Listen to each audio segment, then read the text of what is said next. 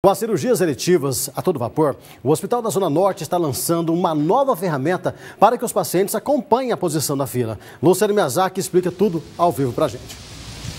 Oi, Cid, exatamente isso. As cirurgias eletivas já foram retomadas no Hospital da Zona Norte. Para a gente ter uma ideia, hein? no mês passado foram realizadas 140 e o hospital também já fez aí 500 exames pré-operatórios. E o paciente vai poder acompanhar isso melhor, de perto. Quem fala com a gente ao vivo é o diretor do Hospital Zona Norte, Reile Lopes. Olá, boa tarde para você, Reile. Primeiro aí falando desses números falando inclusive de um número positivo que vocês comemoraram aí no último fim de semana, mil altas aí de Covid. Exatamente. Boa tarde, Cid. Boa tarde a todos. Tão gostoso quando a gente pode falar de, de coisa boa, né? Zona Norte aceitou o desafio para entrar no enfrentamento da Covid-19. A gente, por tantas vezes, veio trazer notícias não tão boas. E agora, esse final de semana, nós celebramos o milésimo paciente que a gente conseguiu tratar, curar e teve alta. Foi um momento bem, bem bacana para toda a equipe. Em relação à retomada das cirurgias eletivas, aí qual que é a previsão para esse mês? É, a gente, desde que foi liberado, retomou aos poucos, começou a convocar esse pessoal que já estava na nossa fila, quase 1.500 pessoas, para fazer os exames pré-operatórios. Um terço desse público já foi reavaliado, já está apto para fazer cirurgia. A gente começou devagar, porque a Covid não parou, ela não, né, não cessou ainda. A está fazendo uma média de 130 a 140 cirurgias mês. A nossa meta é fazer 350 por mês, a partir do momento que a gente estiver com a pandemia sob controle. Mas por enquanto a gente ainda está indo é, com cautela. A expectativa é já em outubro poder aumentar esse número, hein? Olha, a gente quer muito, né? A gente gostaria de, a partir de outubro, poder fazer, já bater essa meta, chegar aos 350. Mas a gente ainda depende realmente de como esses próximos dias vão ser em relação à pandemia. Mas se diminuir, a gente quer sim correr atrás dessa meta. Em relação a esse site da transparência, como é que é isso? O paciente poder acompanhar aí como é que está a situação dele na fila de espera? Exato. Eu conversava semana passada com o nosso secretário Beto Preto e a preocupação dele é a gente precisa ser transparente porque isso é algo que não dá para né, para fugir.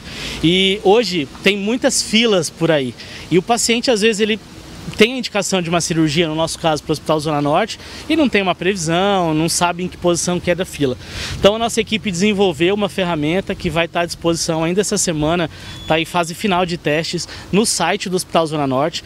O paciente que teve uma sua cirurgia indicada para lá, entra, coloca o seu CPF, e aí através do CPF ele consegue consultar os dados dele, quem é o médico, a posição da fila, e a gente está validando agora uma possível é, previsão de quando essa cirurgia vai ser acontecida, baseado no número de cirurgias que a gente consegue fazer por semana. A gente sabe que a pandemia aí, mais de um ano e meio sem realização, praticamente um ano e meio sem realização de cirurgias. Como é que ficou a situação da fila no Zona Norte? A fila, ela parou, ninguém saiu da fila. A gente estava com 1.496 pacientes na fila e já tinham mais de 500 para entrar na nossa fila. Então a gente fez a qualificação dessa fila, ligou um por um. Algumas pessoas é, falaram pra gente, olha, neste momento eu, eu não gostaria de fazer porque eu fiquei um tempo desempregado, eu acabei de conseguir um emprego, se eu me afastar agora pode ser que eu perca. Outros, infelizmente, vieram a óbito pela Covid. Então a gente requalificou essa fila para poder receber os novos.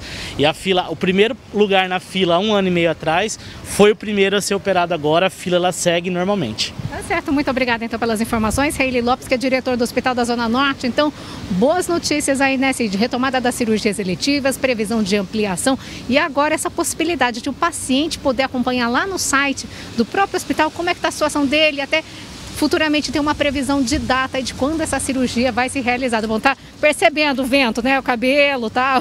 Essas folhas e folhas aí que estão caindo. O tempo tá virando, viu, Cid? Se alguém vai sair de casa, presta atenção, porque tá com cara de que vai chover e a gente espera que não seja temporal. Mas, ó, dá uma olhadinha como é que tá a situação. Então, sei não, hein?